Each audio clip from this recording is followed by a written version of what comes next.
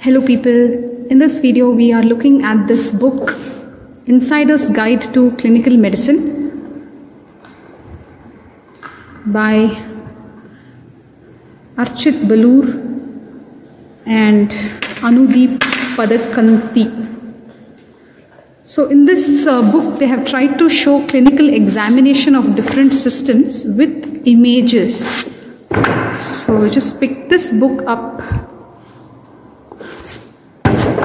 to show you. so general examination, examination of respiratory system, examination of cardiovascular system, gastrointestinal system, then central nervous system, higher mental functions, gait, how to check, right?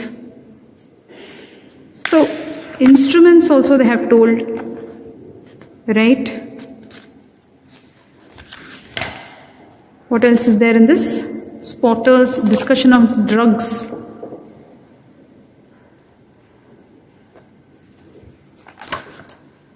So basically history taking how to do. Here what are they doing guys?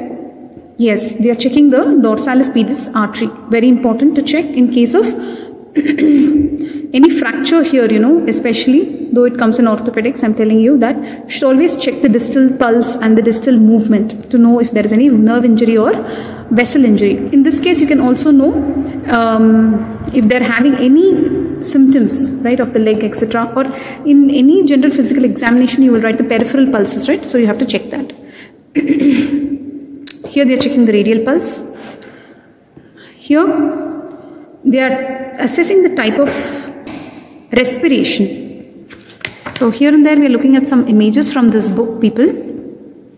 So how to check the jugular venous pulse isn't it? I kind of liked the images in this book. So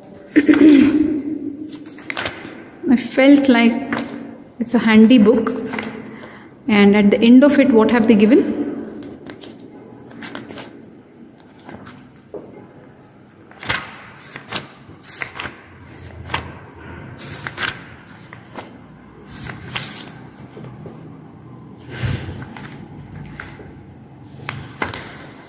So what are they checking here?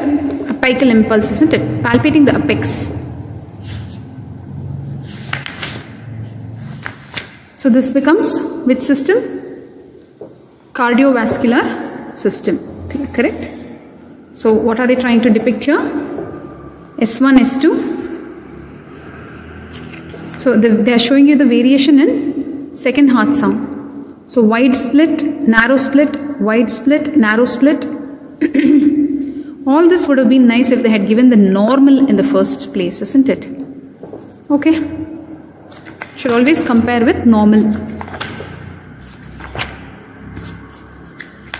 Now coming to the abdomen looks like, which, which system are they checking here? Gastrointestinal system. So the images are very nice according to me to carry to your clinics. So sometimes images register in your mind, isn't it? I'm thinking that in this the images are better than Hutchison or your uh, Alagappan, right? Lot of images also.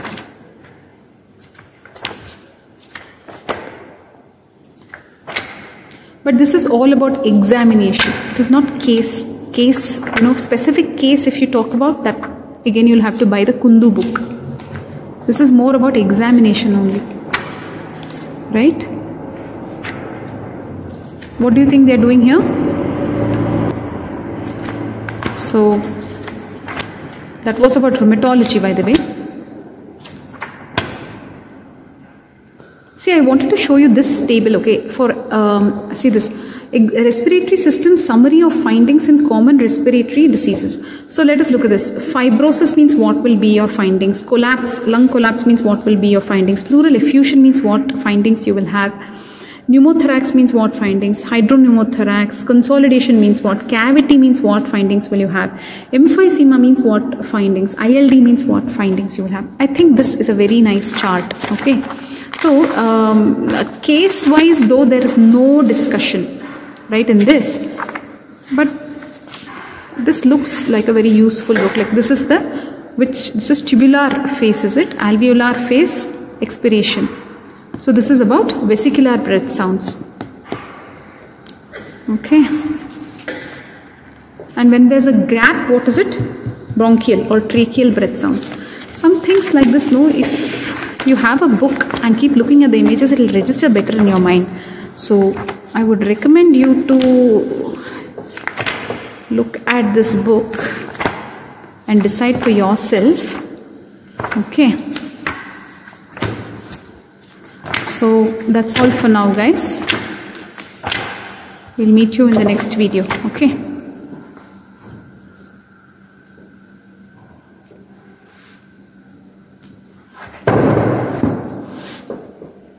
Bye bye.